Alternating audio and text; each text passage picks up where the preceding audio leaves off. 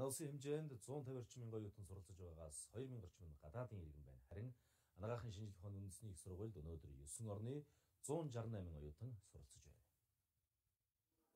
Манай улсын экспорт дан ганц уул уурхайн чиглэлд ус боловсролын салбарт ч мөн нээлттэй гэдгийг анагаахын шинжилгээ ухааны үндэсний их сургуулийн элсэгчдийн баримтаас харж болно. Өөрөөр хэлбэл Монгол улсын анагаах ухааны салбарын сургалт дэлхийн өндөр хөгжилтэй орнууд хүлээн зөвшөөрөгдөж байна гэсэн үг. Энэ хичээлийн жилд ихэд тус сургуульд 7 орны 20 гаруй оюутан ихэмж болохоор илссэн. Яг ийм жишгээр монголчууд боловсролын экспорт хийх гарц олон байна. Сургалтын орчин буюу тэр нөгөө их сургуулийн эмнэлгийн тогтолцоо бүрдсэн, дундын лаборатори бүрдсэн учраас өнөөдөр Канада, тийм үү Япон, одоо Хятад, за Малайз гих мэтлэнгээр одоо Япон гих мэтлэнгээр яг өндөр хөгжилтэй улс орнуудын оюутнууд ингээ Монгол улсын төрсөн өнөөдөр ашуулсан их сургуулийг сонгож хурж ирж суралцж байгаа гэдэг бол энэ маш их том боломж өнөөдөр Монгол улсад байна гэж харж байна. Эрүүл мэндийн яамны бодлого ч гэсэн боловсролын салбартайгаа хамтарч ялангуяа эрүүл мэндийн салбарын хүний нөөцийн бодлого дээр бол илүү анхаарч ажиллахаар бас энэ ажлыг гараад явж байна. Одоо бэлтгэж байгаа 5 хөтөлбөр. Одоо нийгмийн эрүүл мэндийн судлаа, аа сувилагчаа, дээр нь бол одоо уламжлалт ангаах ухаанаа, за нүүр ам судлал гэж байдаг.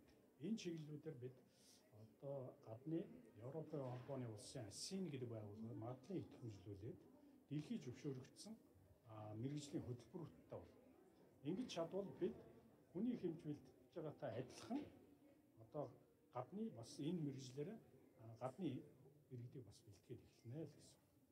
Монголчууд өндөр өртөгтэй олон эмчилгээг эх орондоо хийдэг болсон. Энэ бол салбарын мэрэгжилтнүүдийн чадамж дэлхийд өрсөлдөж байгааг нь баталгаа.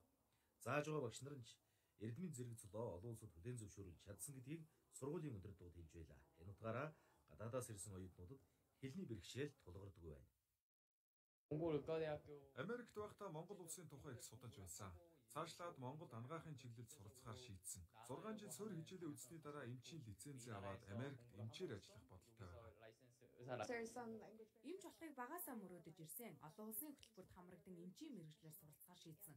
Монгол оюутнууд маш нээлттэй тусал дэмжиж байгаад баяртай байна. Англи хэл дээр хичээл заадаг тусгай ангитай бүх хичээлүүдээ тухайн ангийн оюутнууд маань англи хэл дээр болон олон улсад хүлээн зөвшөөрөгдсөн хөтөлбөр сурах бичиг, сурах арга барилын дагуу бол суралцдаг байгаа. Япон Монголын хамтарсан эмнэлэг анагаахын шинжилгээ ухааны үндэсний их сургуулийн харьяа тул практик дээр суурилсан нарийн мэрэгжлийн хичээл үзэхэд хүндрэлгүй байна.